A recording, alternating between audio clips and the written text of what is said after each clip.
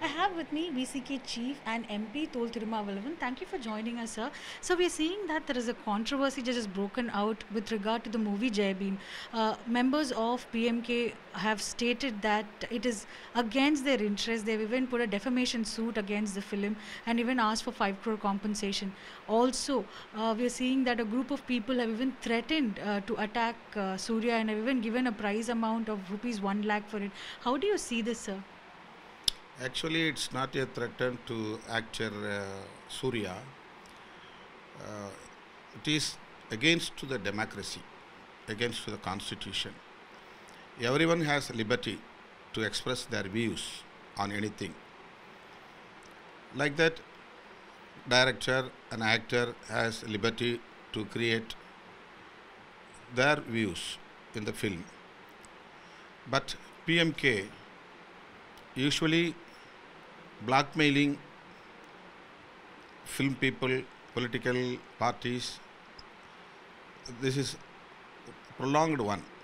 Dr. Ramdas and his followers are doing this blackmail politics in Tamil Nadu.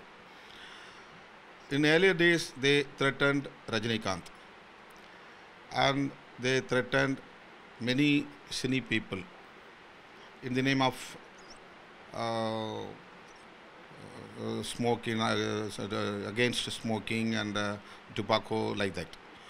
But uh, their main motto is that getting popularity and polarizing their people in the name of caste, like that. It, is mainly for caste polarization. They are doing politics uh, every day in Tamil Nadu on the basis of the caste. So this also already they lost their base, uh, mostly eroded. So now uh, they got uh, 10.5 percent reservation exclusively for Vanniyar community. But Madurai bench High Court uh, the announced that it, it is not valid, it is unconstitutional. So Dr. Ramdas and the PMK has lost their uh, uh, credibility among their own community. That's what they are creating this kind of issues to polarize their community in the name of caste. So we're saying that the movie talks about uh, an oppressed community, the Irular community, and right from the beginning, one after the other, uh, there has been controversy which has been brought up by one particular party.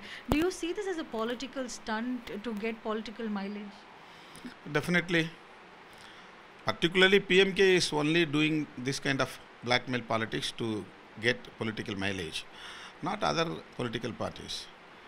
Even uh, DMK appreciated uh, Honorable Chief Minister of Tamil Nadu, Mr. M.K. Stalin, appreciated that movie.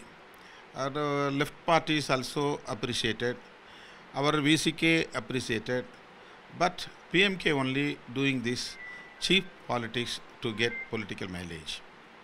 And sir, is this also a tactic which is being used to go away from the issue of the 10.5 reservation because that was a promise that they given to the Vanniyar community and that was the mark which which uh, they had even gained votes in the previous election. So do you think this is another alternative that they're using to hide this important issue?